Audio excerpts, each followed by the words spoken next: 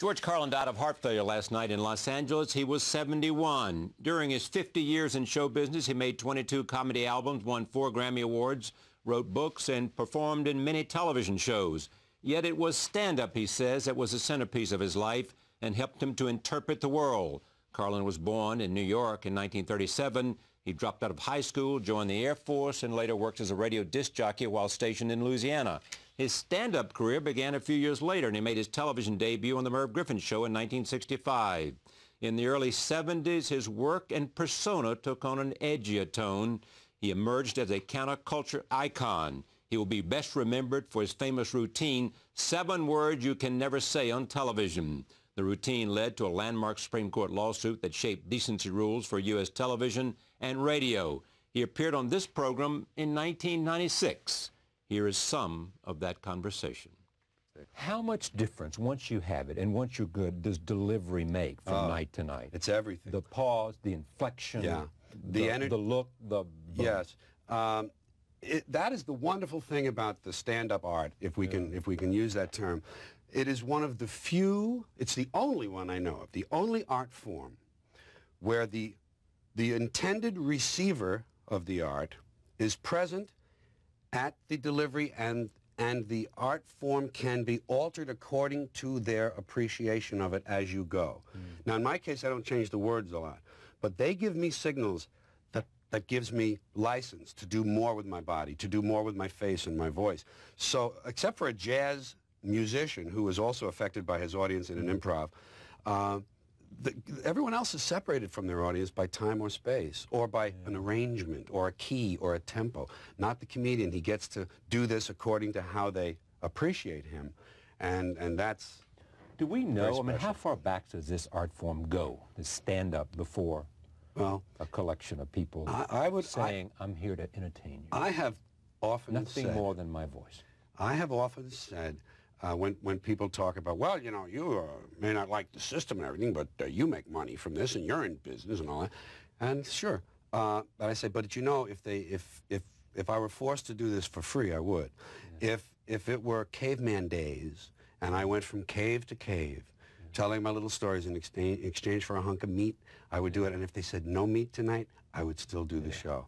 And I think storytellers and shamans and oral traditionalists from primitive cultures probably are the forebears, the, the forerunners, I guess, of, of, of this art. And, and, then monologists, although they didn't interact as much with their audience, the, the famous monologists of vaudeville and, yeah. and the, the Chautauqua circuit. Bob Hope was a hero of yours.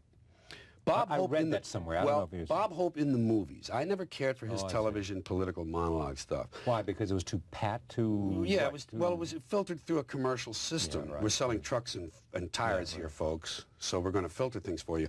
But the movies never had that. At least it wasn't very visible. And I adored Danny Kaye. Yeah. And I, now think of me in the 40s. I'm about 7, 8, 9, 10, 11. And they're in their primes in the movies. And Bob Hope in the movies Red Skelton in the movies and Danny Kaye in the movies. Were what? Well, they were they were something because movies were larger than life. We didn't have television yet. It was a few years away. Radio was a big thing. But the movie, you sat there and the screen was so big and the theater was so big and it was this wonderful experience. And I said, I can do that. I can do that. I can do that. And I used to write to Sylvia Fine to try to get Danny Kaye's lyrics. I never got an answer. Yeah. I didn't know they were married.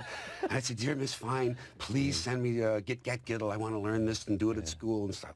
And I just loved the verbal facility. I knew, I said, this is something I want, I can do. And I didn't know what form mine would take, but I knew I could stand How about up. the Marx Brothers? Absolutely. Because of the chaos because they kicked over every bit of order. And the wonderful thing, they could go through a hotel lobby lighting a couch on fire, shooting the chandelier down, and the people only sort of looked slightly annoyed. No one panicked. No one called the police for this behavior. I loved that. Spike Jones on records, again, yeah. taking something ostensibly beautiful, breaking it down and destroying it in a way and making something else out of it. Making chaos out of order and then order out of chaos. But when you knew you wanted to do this, was the I mean, was it any of the people I've just mentioned or was it someone else? That sort of spoke to you and you said, damn it, that's what I want to do? Well, it came first, I think, before I saw or heard any of them. My mother and father were very verbally gifted. I didn't know my father, but he was a, a top advertising salesman. He was the national advertising manager of the New York Sun. and of before that the New York Post when it was a broadsheet. Hmm. My mother was an executive secretary in advertising all her life. They were very funny. And I, I inherited that. And my mother used to get me to imitate people. Do you, do you, do Mae West? I didn't know Mae West, but I, had, I knew how to imitate her. Come up and see me.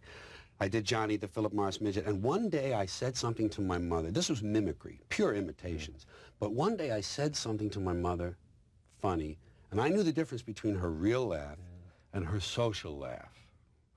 And I said something and I heard her real laugh. She really laughed at something I thought of in my head. And I thought, wow. And it just gave me a feeling of power. I don't remember what the thing was, but I knew I had made it up. But you can feel the same thing today. Yes. It's the same thing. It- it- it's- the it- capacity to know that an audience, whether you're making a speech or doing stand-up, Right. that you can just feel them responding. I mean, it's Yes. almost like Of course, the comic kinetic. has the laughter as, as proof Right. every five to 10 or 15 seconds. And, and to know not only that, but the, the, Arthur Koestler said in The Act of Creation that sometimes the jester can transverse, traverse, that's probably the word I want, traverse the triptych. And, and if the jester says something funny, well, he's a jester. If he says it in marvelous language that we, we say, oh, isn't that a nice way to put that? Then he's a bit of a poet. And if there's an underlying idea underneath the well put funny line, if there's a bit of a philosophy in it, he becomes something else again, a philosopher. Now, one doesn't sit down and attempt to do that with everything he writes, but to know that that's part of the package, to know that you can do these three things in varying degrees. George Carlin, dead at 71.